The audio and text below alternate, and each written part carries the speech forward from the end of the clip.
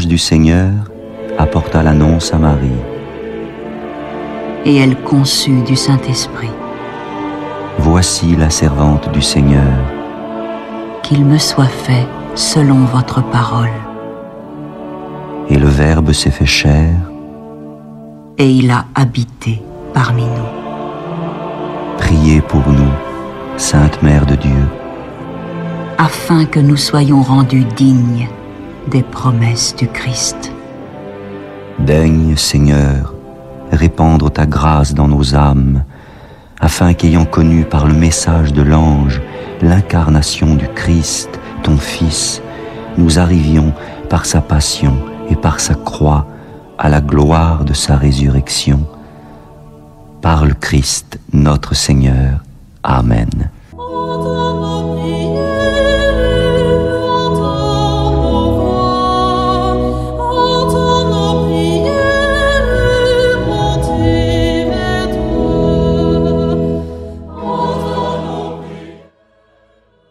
Seigneur, dans le silence de ce jour naissant, je viens te demander la paix, la sagesse, la force. Je veux regarder aujourd'hui le monde avec des yeux tout remplis d'amour, être patient, compréhensif, doux et sage, voir au-delà des apparences tes enfants, comme tu les vois toi-même, et ainsi ne voir que le bien en chacun. Ferme mes oreilles à toute calomnie. Garde ma langue de toute malveillance. Que seules les pensées qui bénissent demeurent en mon esprit. Que je sois si bienveillant et si joyeux que tous ceux qui m'approchent sentent ta présence. Revêt-moi de ta beauté, Seigneur, pour qu'au long de ce jour je te révèle. Amen.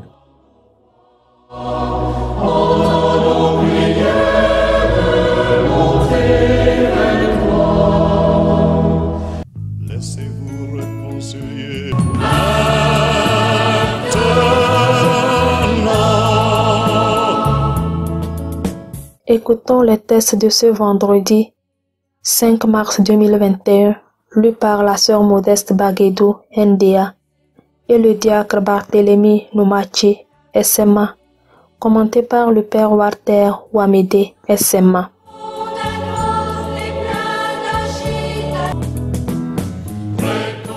Lecture du livre de la Genèse, chapitre 37, versets 3 à 4, 12 à 13, 17 à 28.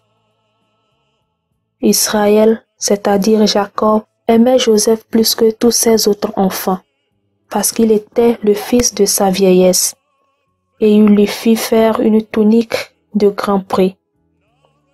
En voyant que leur préférait Joseph, ses autres frères se mirent à détester celui-ci, et ils ne pouvaient plus lui parler sans hostilité. Les frères de Joseph étaient allés à Sichem faire paître le troupeau de leur père. Israël dit à Joseph, Tes frères ne gardent-ils pas le troupeau à Sichem Va donc les trouver de ma part. Joseph les retrouva à Dothan. Ceux-ci l'aperçurent de loin, et avant qu'il arrive près d'eux, ils complotèrent de lui faire mourir. Ils se dirent l'un à l'autre.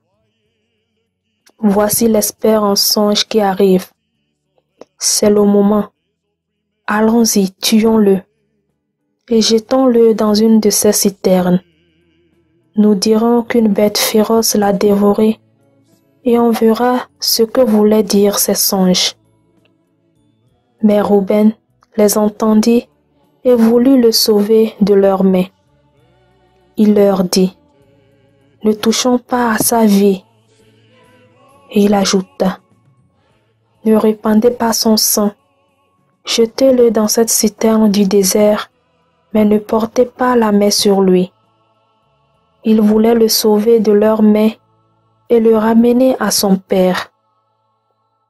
Dès que Joseph eut rejoint ses frères, ils le dépouillèrent de sa tunique, la tunique de grand prix qu'il portait. Ils se saisirent de lui et le jetèrent dans la citerne qui était vide et sans eau. Ils s'assirent ensuite pour manger. En levant les yeux, ils virent une caravane d'Ismaélites qui venaient de Galade. Leurs chameaux étaient chargés d'aromates, de baume et de myrrhe qu'ils allaient livrer en Égypte. Alors Judas dit à ses frères, Quel profiterions-nous à tuer notre frère et à dissimuler sa mort? Vendons-le plutôt aux Ismaélites et ne portons pas la main sur lui, car il est notre frère, notre propre chair. Ses frères l'écoutèrent. Des marchands madianites qui passaient par là retirèrent Joseph de la citerne. Ils le vendirent pour vingt pièces d'argent aux Ismaélites, et ceux-ci l'amenèrent en Égypte. Parole du Seigneur. Nous rendons grâce à Dieu.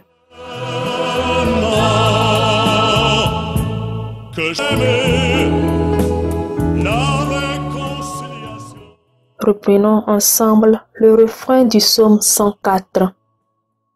Souvenez-vous des merveilles que le Seigneur a faites. Cherchez le Seigneur et sa puissance. Souvenez-vous des merveilles qu'il a faites. Vous, la race d'Abraham, son serviteur, les fils de Jacob qu'il a choisis. Souvenez-vous des merveilles que le Seigneur a faites. Il appela sur le pays la famine, le prévent de toute ressource. Mais devant eux, il envoya un homme, Joseph, qui fut vendu comme esclave. Souvenez-vous des merveilles que le Seigneur a faites. On lui met au pied des entraves, on lui passe des fers au cou. Il souffrait pour la parole du Seigneur jusqu'au jour où s'accomplit sa prédiction. Souvenez-vous des merveilles que le Seigneur a faites. Le roi ordonne qu'il soit relâché, le maître des peuples qu'il soit libéré. Il fait de lui le chef de sa maison, le maître de tous ses biens. Souvenez-vous des merveilles que le Seigneur a faites.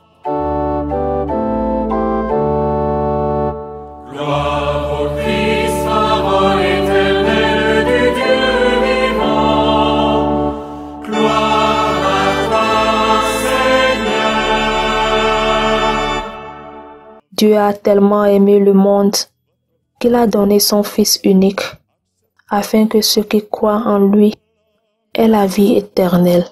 Gloire au.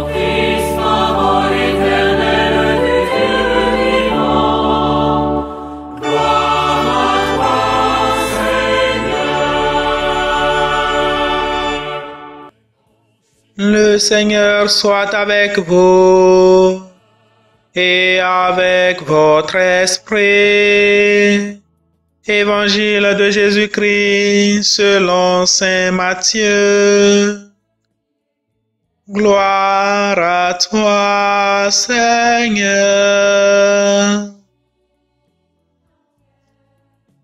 Chapitre 21, versets 33 à 43 et 45 à 46. En ce temps-là, Jésus disait aux grands prêtres et aux anciens du peuple, Écoutez cette parabole. Un homme était propriétaire d'un domaine. Il planta une vigne, l'entoura d'une clôture, y creusa un pressoir et bâtit une tour de garde. Puis il loua cette vigne à des vignerons et partit en voyage.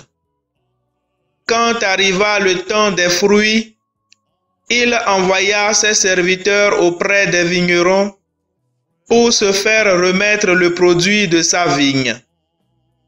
Mais les vignerons se saisirent des serviteurs, frappèrent l'un, tuèrent l'autre, lapidèrent le troisième. De nouveau, le propriétaire envoya d'autres serviteurs, plus nombreux que les premiers, mais on les traita de la même façon. Finalement, il leur envoya son fils en se disant, Ils respecteront mon fils. Mais, voyant le fils, les vignerons se dirent entre eux, Voici l'héritier. Venez, tuons-le. Nous aurons son héritage. Ils se saisirent de lui, le jetèrent hors de la vigne et le tuèrent. Eh bien, quand le maître de la vigne viendra, que fera-t-il à ces vignerons? On lui répond, Ces misérables, il les fera périr misérablement. Il louera la vigne à d'autres vignerons qui lui en remettront le produit en temps voulu. Jésus leur dit, N'avez-vous jamais lu dans les Écritures La pierre qu'ont rejetée les bâtisseurs est devenue la pierre d'angle. C'est là l'œuvre du Seigneur, la merveille devant nos yeux. Aussi, je vous le dis, le royaume de Dieu vous sera enlevé pour être donné à une nation qui lui fera produire ses fruits. En attendant les paraboles de Jésus, les grands prêtres et les pharisiens avaient bien compris qu'il parlait d'eux. Tout en cherchant à l'arrêter, ils eurent peur des foules parce qu'elles le tenaient pour un prophète. Acclamons la parole de Dieu. Louange à toi, Seigneur Jésus.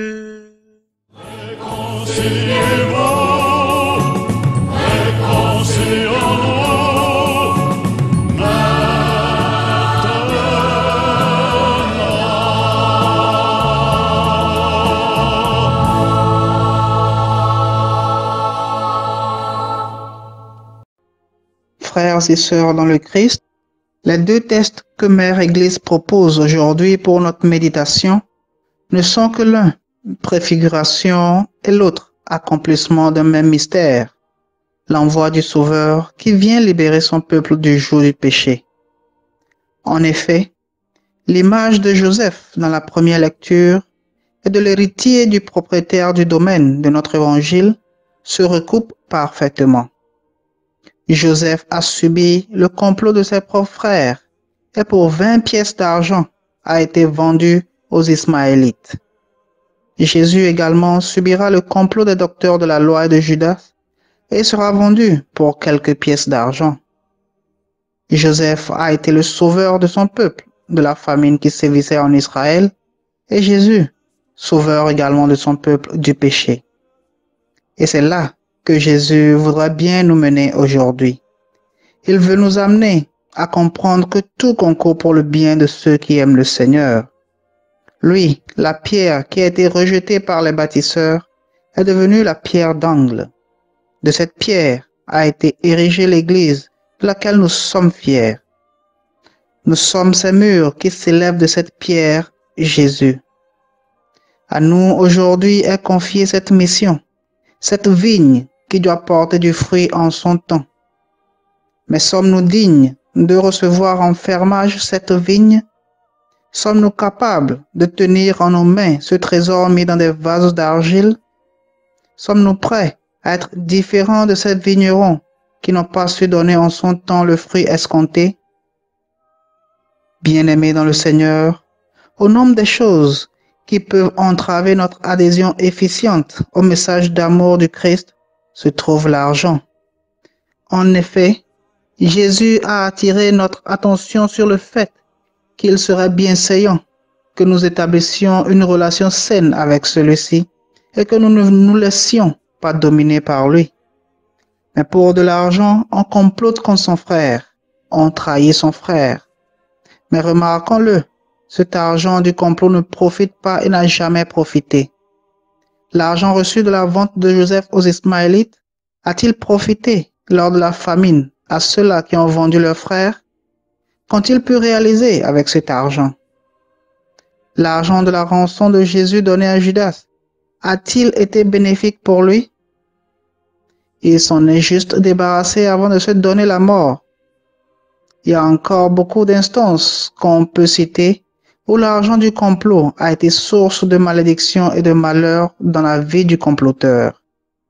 Mais même informé de tout ceci, il en est encore qui rentrent dans ce jeu de séduction du méchant. Il en est encore qui projettent tuer, soit physiquement, moralement ou spirituellement leurs frères. Rappelons-nous, Joseph, qui a été sujet de complot, a été bénédiction dans la vie de sa famille. Jésus, qui a été sujet de complot, s'est manifesté sauveur du monde. Qui sait, celui que tu trahis ou que tu projettes trahir aujourd'hui ou demain pour être grâce dans ta vie. Que ce temps de carême nous obtienne de purifier nos cœurs de toute méchanceté. Amen.